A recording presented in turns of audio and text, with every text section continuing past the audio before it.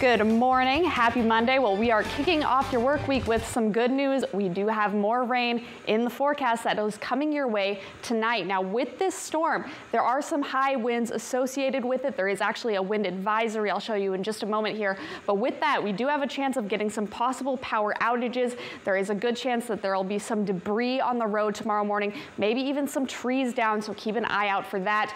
And the roads are going to be wet and slippery. Can almost guarantee that that. So do plan on getting out the door a little bit earlier for tomorrow morning. Here's a look at that wind advisory. So all of the areas in blue to the north of our viewing area are going to be under that advisory from 7 p.m. tonight, so 7 p.m. Monday night through 3 a.m. Tuesday morning. Now there is always the chance that this could be extended if winds are increasingly gusty overnight. So for now, it, could, it is set to expire at 3 a.m. Could be extended though, so just stay tuned to the forecast. We do have southerly winds, so they're going to be pushing up from the south at about 20 to 30 miles per hour.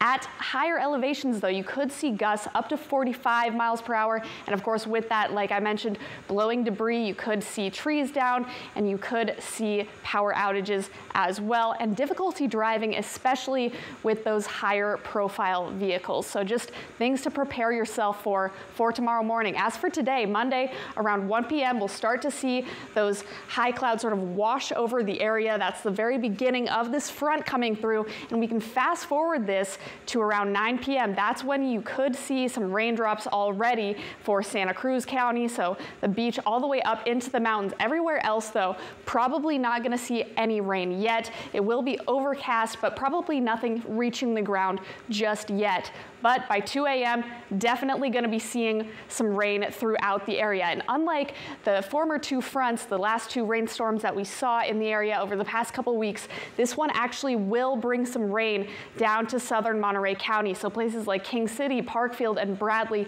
that really didn't tap much into the precipitation that we saw the last couple rainstorms, if at all, you will be getting some rain out of this one. So good news for you guys down south.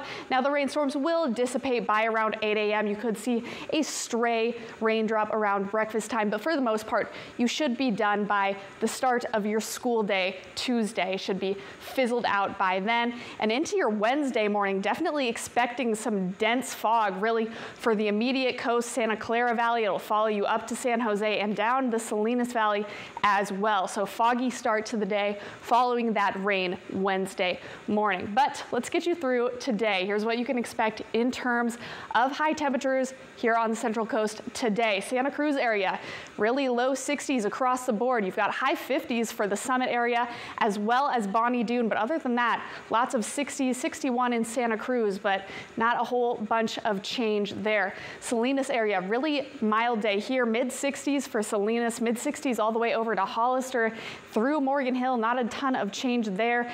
64 in Prunedale, and then on the immediate coast, lower 60s up toward Aptos, and it will be a little bit more overcast for coastal areas today as that front starts to arrive.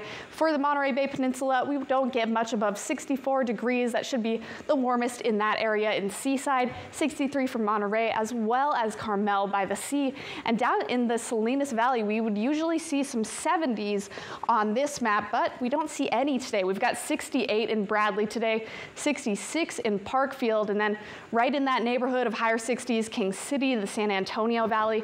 But check out the pinnacles, 64 today, so not all that warm really at all, inland or on the coast. Next seven days though, again, Wednesday morning, a little bit foggy, and then the sun comes back out, and we've got 70s by Veterans Day, and then the weekend is actually gonna be really nice and sunny, although keep in mind that those uh, overnight temperatures still in the 40s, lower 40s by the end of this week, so it's gonna be a little bit chilly overnight for the coast as well. Higher 40s overnight, but that's still going to be a little bit cooler, foggy Wednesday morning, higher 60s by Veterans Day, and then we're going to be nice and warm in the 70s for your weekend.